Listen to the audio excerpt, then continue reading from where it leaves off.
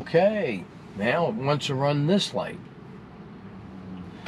What the hell is going on?